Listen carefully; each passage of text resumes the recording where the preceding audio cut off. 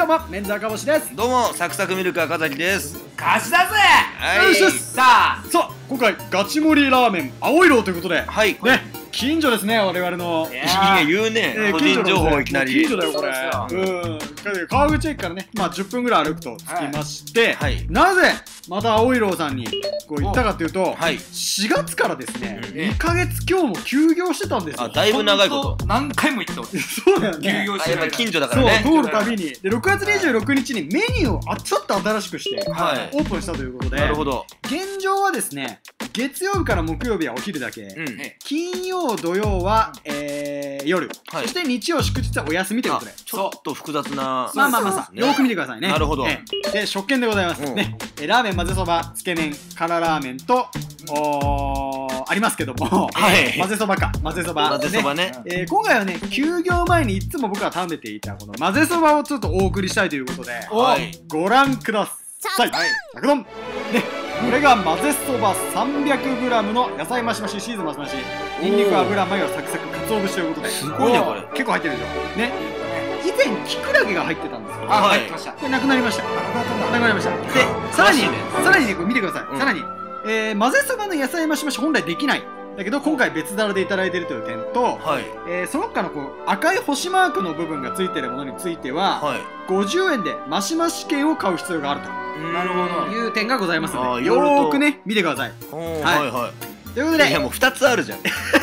あれもうバレてる。2つあるけども。えーいやまずは豚からいきますよ、はい。豚からいきますけど、えーここも変更点。以前はホロホロのバラ肉だったんですけども、はいはいえー今回はもう腕肉に変更になってるんで、うん。えーえー豚マヨにして食べると美味しいですよという点をねなるほど。お伝えしたい。推奨ということで。そうなんです、はい。ね。そして油ですね、はい。油ね油もちょっと前となんか違う感じ。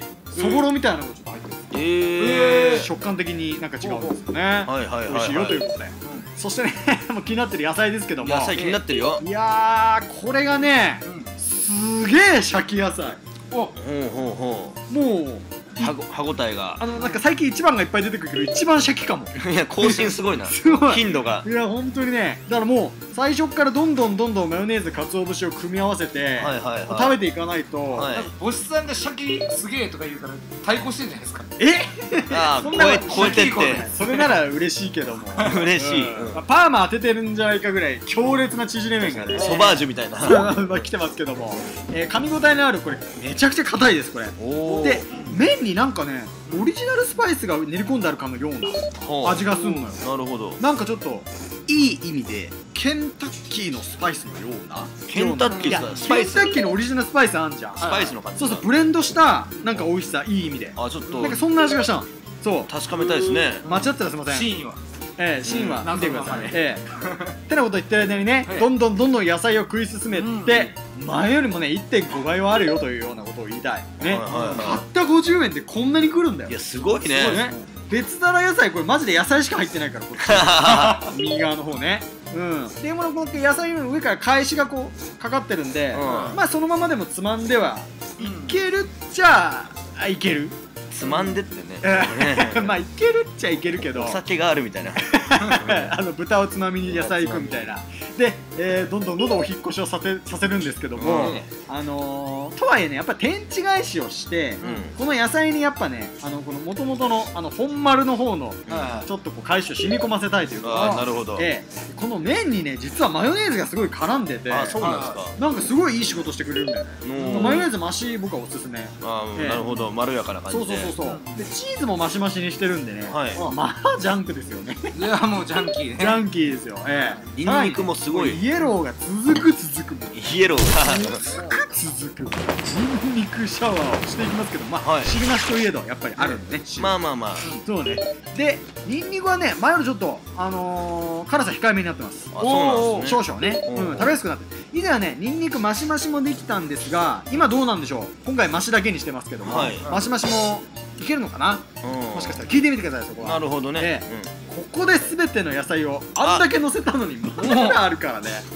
これ気をつけて本当にこれ50円で。で完成した感じで。ええ。でまあ卓上返しはやっぱり ちょっとね。かけるいねやちょっとやっぱかいかけていかないと。うん。それやっぱりちょっと薄めなんで。少しねこれだけでも。うん。でまあブラックペッパーもかけてさらに魚粉ですわ。あ魚粉ね。さらに魚粉。ね。結構な量を結構だよこれは。わざいってますね。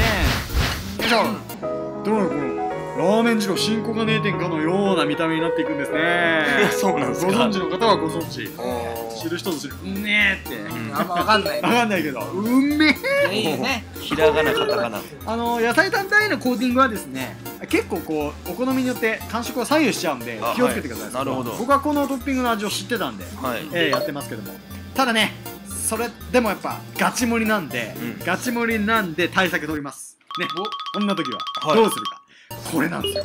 ぜひ入れてほしい。あまあお酢はあおね酢はね。まあ混ぜそばにはこれねはね漬物ですから。青い色でも青い色とこのお酢ねめちゃくちゃ合うのなぜか。あ特に。特に合うんですよ。いっつもこれやってんだけど、うん。食べ終わる直前ぐらいにこのお酢を入れて、うん。その分解してくれるしさっぱり食べられるし、はい。なんか酢豚みたいなの作って食べるっていうのも美味しかったりするおおあえー、豚でね。ねごちそうさんでした。いやほんと復活していただきましてありがとうございまありがとうございます。ねすいやーステータス見ていきましょう。ねシャキ度97にしましたけどおねマシマシ的には89.4おえー、まあ油とニンニクそこまでマシマシじゃなかったんで、えー、89.4に。なりましたけれども、はい。野菜はとんでもない量なんでうん。気をつけてほしい。いや僕はあれですよあの休業する前あの味噌。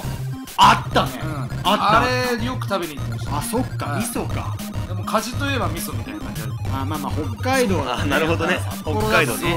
ザキさんは僕はですねはい。まだデフォルトの方しか行ってないんであそっか。ちょっとこれから開拓していきたいかなと。織り交ぜと青色とね武蔵屋には行きたいですよ。あ武蔵屋も近いけども、確かに。